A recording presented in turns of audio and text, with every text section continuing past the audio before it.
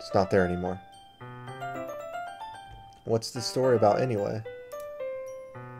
Well, um, I look at the cover of the book. The book is titled Portrait of Marv Markov. There's an omni, omni, ominous looking eye symbol on the front of the cover. Basically, it's about the religious camp that was turned into a human experiment person. And the people trapped there have this trait that turns them into killing machines and the lust for blood. But the faculty gets even worse and they start selective breeding and people by cutting off their limbs and, and, and asphyxiating them to oh that might be a little bit of a spoiler. But anyway i'm really into it. The book i mean not the thing about the limbs. That kind of that kind of dark isn't it?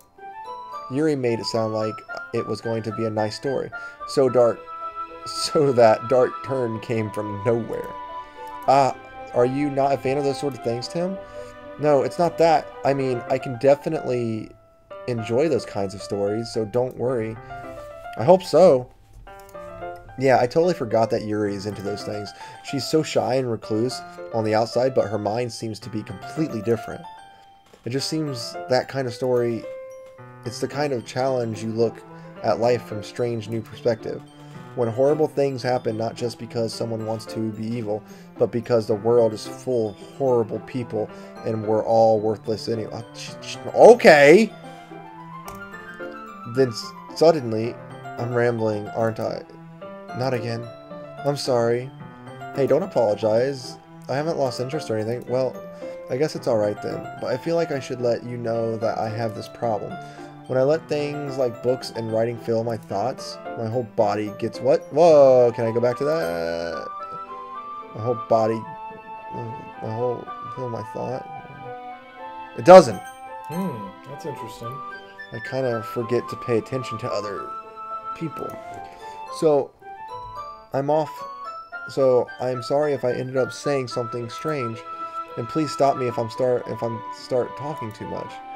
That's I really don't think you need to worry. That just means you're passionate about reading. The least I can do is listen. It's a literature club after all. Uh, that's, well, that's true. In fact, I might as well get started reading it right here. Oh! Y yes. I mean, you don't have to, but uh, what are you saying? Let me just get the book. I quickly retrieved the book that I had put in my bag. Alright, it's fine. I'll sit here. I slip into the seat next to Yuri's. Ah, yeah. Are you sure? You seem a little apprehensive. That's right. I'm sorry. It's not that I don't want you to. It's just something I'm not very used to. That is, reading in company with someone. I see. Well, just tell me if I end up distracting you or anything. Uh, Alright. I open the book and start the prologue. I soon understand what Yuri means by reading in company. It's as if I can feel her presence over my shoulder as I read. It's not a particularly bad thing, maybe a little distracting, but the but the feeling is somewhat comforting. Yuri is in the corner of my eye. I realize that she I realize that that she's not actually looking at her own book. I glance over and it looks like she's reading my book from my book instead. Sorry, I was just. What did that say? Bathing, bathing, but oh god, bathing. Yuri, you just, you really apologize a lot, don't you? I, I, I do. I don't really mean to. Sorry. Hey, hey! Thank you so much for the follow. Pro Ash Ford. What is it? Pro Ash Ford. Pro Ash Ford. Thank you. Welcome to the fam.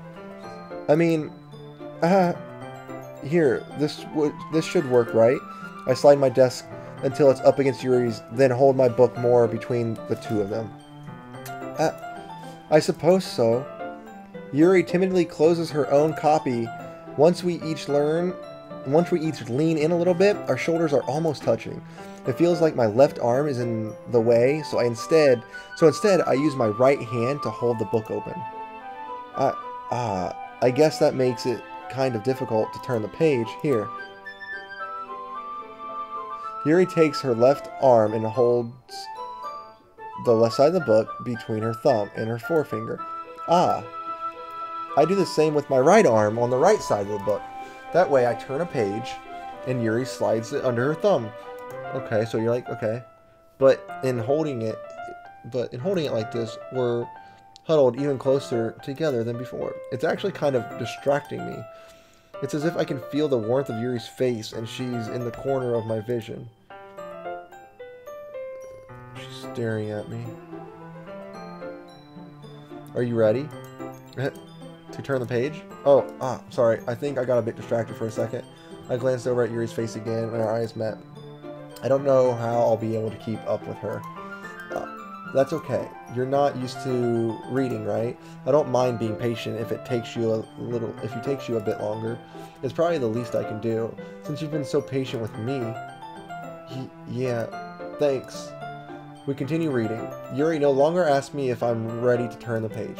Instead, I just assume that she finishes the page before me, so I turn it by my own violin. We continued the first chapter in silence.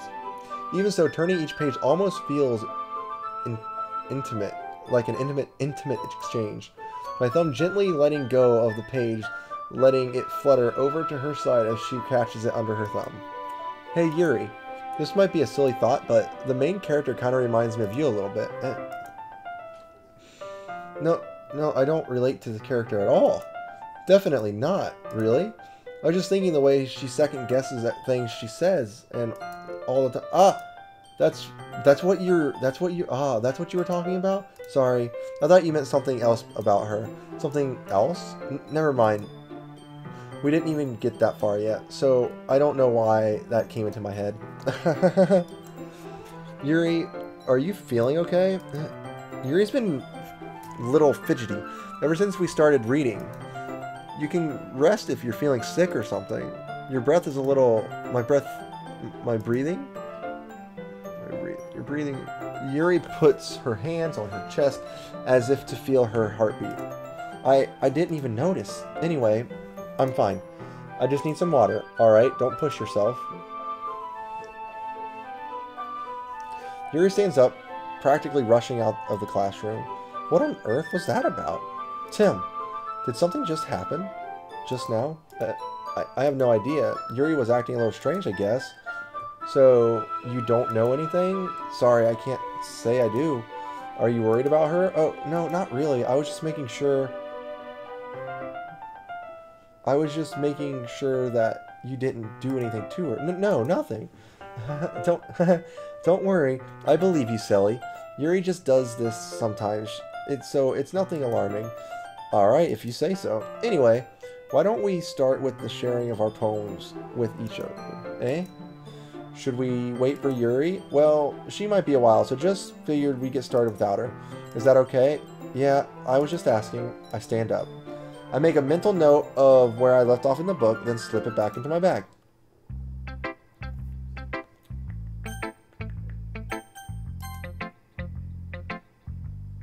Hmm.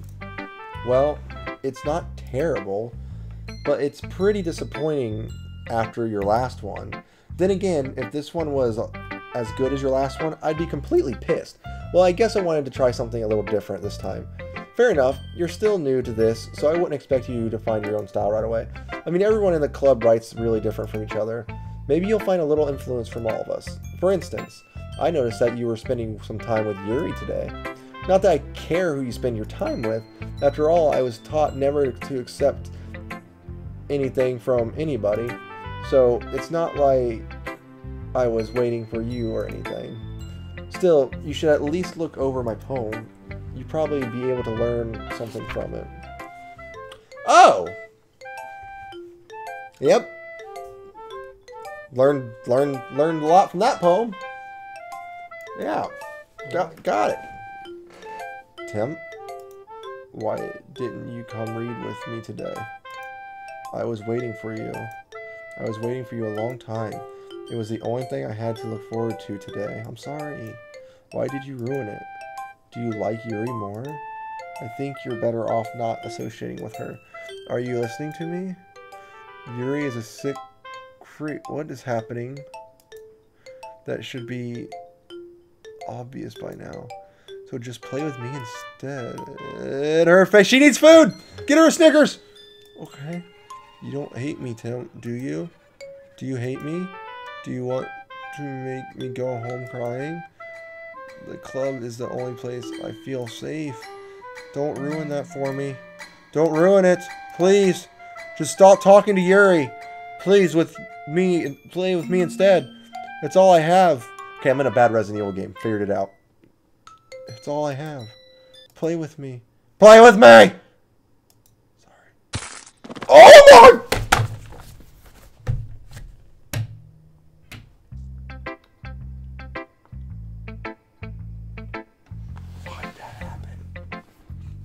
I don't want to play Monika's anymore. I don't like Monika anymore. I don't like this whole damn club. I will never join a literature club in my life, ever. That scared you away from books? More so than I already was scared of books. Hi again, Tim. How's the writing going? Alright, I guess. I'll take that. As long as it's not going bad. I'm happy with seeing you're applying yourself. Maybe soon you'll come up with a masterpiece. Haha, I wouldn't count on that. no. Uh, you never know. Want to share what you wrote for today? Sure, here you go. I give her my... Alright, great job, Tim. I was going, oh, in my head while reading it. It's really metaphorical. I'm not sure why, but I didn't expect you to go this far. It's so deep. I guess I underestimated you. It's easiest for me to keep everyone's expectation low. That's why I always count my, my effort. Uh, that's not fair. Well, I guess I worked. It worked anyway. You know, that Yuri likes this kind of writing, alright? Writing that's full of imagery and symbolism. You, know, I selected a lot of Natsuki's stuff on that one. Apparently that didn't matter. It's cool. Writing that full imagery and symbolism. Sometimes I feel like Yuri's mind is just totally detached to reality. I don't mean that like it's a bad thing though, but sometimes I get the impression that she's just totally given up on people. She depends she's she spends so much time in her own head that it's probably much more interesting place for her. But that's why she gets so happy when you treat her with lots of kindness. I don't think she's used to being indulged like that. She must be really starved for social interactions, so don't blame her for coming on strong. Like earlier, I think if she, if she gets too stimulated, she ends up withdrawing and looking for alone time. Suddenly, the door opens. Yuri! I'm back. Did I miss anything? Not really. Well, we all started sharing our poems with each other. Uh, already? I'm sorry for being late. No need to apologize. We still have plenty of time, so I'm more glad than you. I'm more glad that you took all the time you needed. All right. Thanks, Monika. I suppose I should get my own poem now. But anyways, you want to read my poem now? I like the way this one turned out, so I hope you like it too. The colors they won't bright, beautiful, just flashing, expanding, piercing, red, green, blue, and endless cap cacophony, cacophony, cacophony of meaningless noise. Holy cow! The noise it won't stop. Violent, graining, uh, screeching, piercing, sense tangent. Like playing a chalkboard at a table, like playing a knife at a breathing rib, like playing a knife on a breathing rib cage. Holy crap! Endless, you know. Okay, okay, okay. Delete her. Delete her.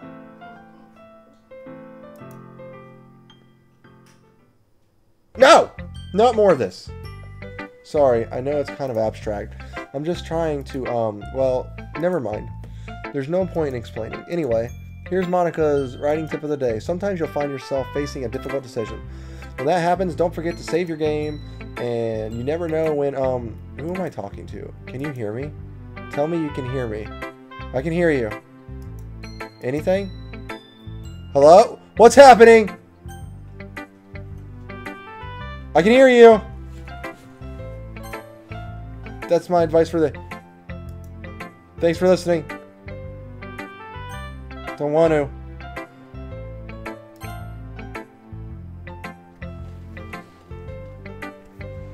Been waiting for this. Let's see what you've written for today. I like just holding it. Uh, I mean, the poem turned out good. It's, uh, Well, there are some things you could work on, but that doesn't really matter. It feels like anything written by you is a treasure. that came out a little awkward. Let's move on. Here's the poem I wrote. You don't have to like it or anything. Wheel. This is really big. a rotating wheel turning an axle grinding. Was that? But Bolt head, bolt head linger linear gearbox, linear gearbox falling sky. Seven holy skates stakes, stakes a docked ship a a portal, portal. to another world, a thin rope tied to a thick rope, thank you. A torn harness, parabolic gearbox, expanding universe, time controlled by slipping cogwheels, existence of God, swimming, op- swimming, swimming with open water in all directions, drowning, a prayer written in blood, a prayer written in time devouring snakes with human eyes, a thread connecting all living human eyes, a kaleidoscope of holy stakes, exponential gearbox, a sky of exploding stars, God disproving the existence of God, a wheel rotating in six dimensions, 40 gears, and a ticking clock, a clock that ticks one second for every rotation of the planet, a clock that ticks 40 times. sorry sorry sorry sorry. Uh, oh, there it is. A clock that ticks one second for every rotation of the planet, a clock that ticks 40 times every time it ticks every second time, a bolt head of holy stakes tied to the existence of a docked ship to another world, a kaleidoscope of blood written in clocks, a time devouring prayer connecting a sky of 40 gears and an open human and open human eyes in all directions. Breathing gearbox, breathing bolt head, breathing ship, breathing portal, breathing snakes, breathing God, breathing blood, breathing holy stakes, breathing human eyes, breathing time, breathing prayer, breathing sky, breathing wheel. that would have taken me way longer.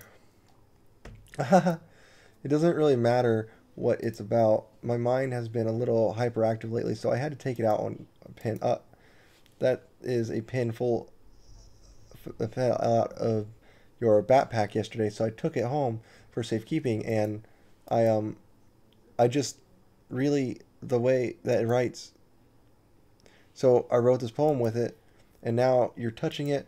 Are you tina from freaking never mind. I'm i'm okay. What did i just can can we pretend this conversation never happened? Can you keep this poem though? You can keep this poem. or you can keep this poem though. You have a unlocked a special poem. Would you like to read it? Sure it's a hell of a poem i don't hmm. Can you read that? no, I can't.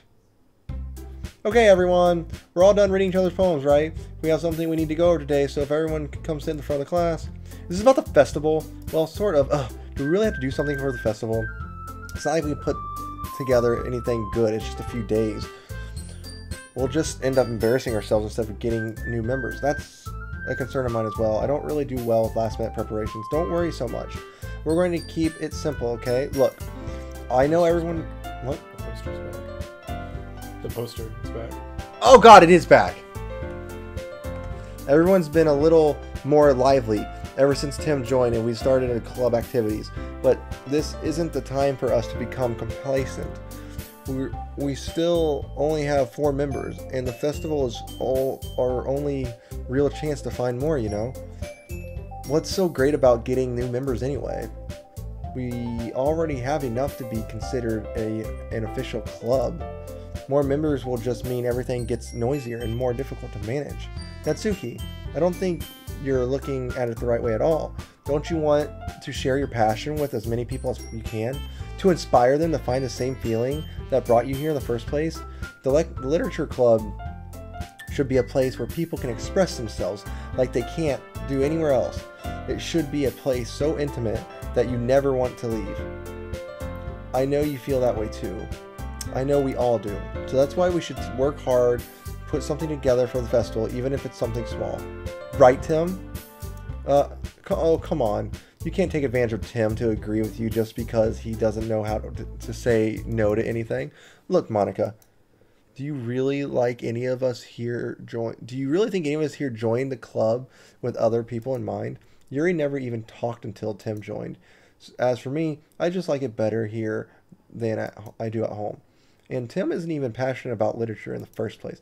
And that's everyone. Sorry, but you're really the only one here who's interested in finding new members. The rest of us are fine like this. I know you're president and all, but you should really consider our options for once. Monika is clearly taken back by Natsuki's words. That's not true at all. I'm sure Yuri and Tim want to get more members too, right? I don't know about Yuri, but I'm kind of indifferent. If I showed as much enthusiasm as Monika wanted, then I would probably be lying. Still, if it's up to me to re- rescue the situation, um, no. Natsuki's right, isn't she? This club, it's nothing more than a place for a few people to hang out. Why did I think everyone here saw it the same way I did? But that doesn't mean that we are against getting new members or anything. Tim, why do you even join this club? What were you hoping to get out of it? Well, that's not really something I can be honest about, is it? In fact, if I remember, you weren't even given a choice not to join. Monika sits down and stares at her desk. What's the point of all this anyway? What if starting this club was a mistake? No, you've done. Now you've done it, Natsuki. What? Me? I just spoke my mind. Is it a crime to be honest? It's not about being honest. It's about word choice. Besides, you have no right to speak for everyone else in the club like that. You don't understand at all. I just I just want a place that feels nice to hang out with new friends. Is there a problem with a club being that for me?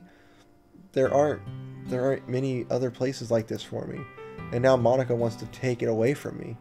She's not taking anything away. No, Tim, it's not the same. It's not the same with the direction she wants to take it. If I wanted that, then I could have joined any other stupid club. But this one, I mean, at least for a little bit of time, the th- things were nice. Natsuki starts packing up her things. I'm going home. I feel like I don't be- belong here right now. Natsuki. Natsuki ignores Yuri and walks out of the classroom. This is bad. I don't know what to do.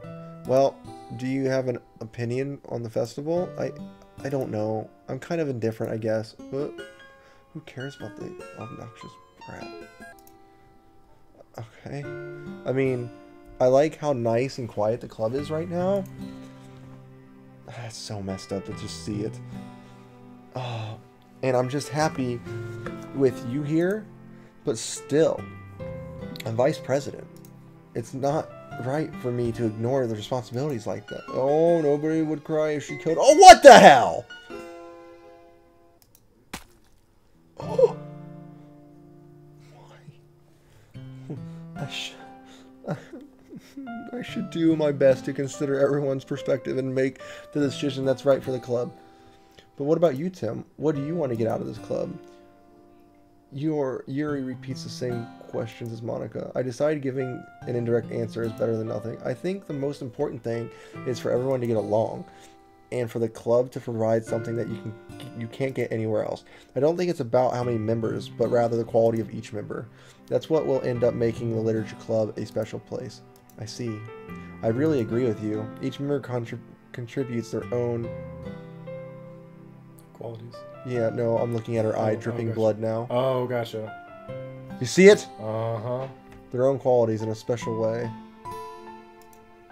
With each chain with each changing chain every time I start telling it confirm. with each with each change in members, the identity of the club as a whole will change too. I don't think that's necessarily a bad thing. It's really distracting. Stepping out of your comfort zone once in a while. So if you would like to help Monika with the festival, then I'm on your side as well. All right. Well, maybe we can talk to Natsuki tomorrow. Yuri nods. Hey Yuri. Yeah. Um, I know things were a little awkward yesterday, but I feel like you deserve to know what I that I still think you're a wonderful vice president, and also and also a wonderful friend. M- Monika, I want to do everything I can to make this the best club ever. Okay? Me too. Yeah. Let's all go home for the d- today. We'll talk about the festival tomorrow. Okay. I'm looking forward to it. Shall we go, Tim? Um, please don't take this the wrong way, but I'm going to chat a little bit with Tim before we leave, just to see what he thinks of the time he's here and all that. It's important to me as president. Yuri looks a little troubled, but she doesn't protest. Okay. I trust your judgment, Monika. In that case, I'll see you two tomorrow. See you tomorrow. Monika waves as Yuri exits the classroom. Phew. Things have been a little bit hectic lately, haven't they? Tim, I just wanted to make sure you're enjoying your time at this club. I'm not. Not anymore. Nope. 0% of me is. I would really hate to see you unhappy. I feel like... No! I feel kind of like I'm responsible for that as a president. Stop getting all gritty! And I really do care about you. You know, don't you do this. I don't like seeing the other girls give you a hard time with how mean Natsuki is and everything. And Yuri being a little bit, you know. what are you going to do? Sometimes it feels like you and I are, are the only people here. You know what I mean? No. But it's weird because in all the time you've been here, we've hardly gotten to spend any time together. Uh, I mean, I guess it's technically only been a couple days. Sorry, I didn't mean to say something weird. There are just some things I've been hoping to talk to you about. Things I know only you would understand. So that's why. Wait, not yet. No! Giggle. Poof. Laugh. Sugar. Kiss. It doesn't even say it's just just doing things now. Milk. Socks. Who was that? Who was that? That was... This is not fun. Party. Vanilla. Peace. Sweet. Puppy. Dance. Silly. I don't know why it's doing what it's doing. What's it doing? Just doing ones? It's just doing ones. Huh. I mean, has anything else happened? Not yet. Okay. Ribbon. Heart. Cute. Cheer. She's still down there. Dirt.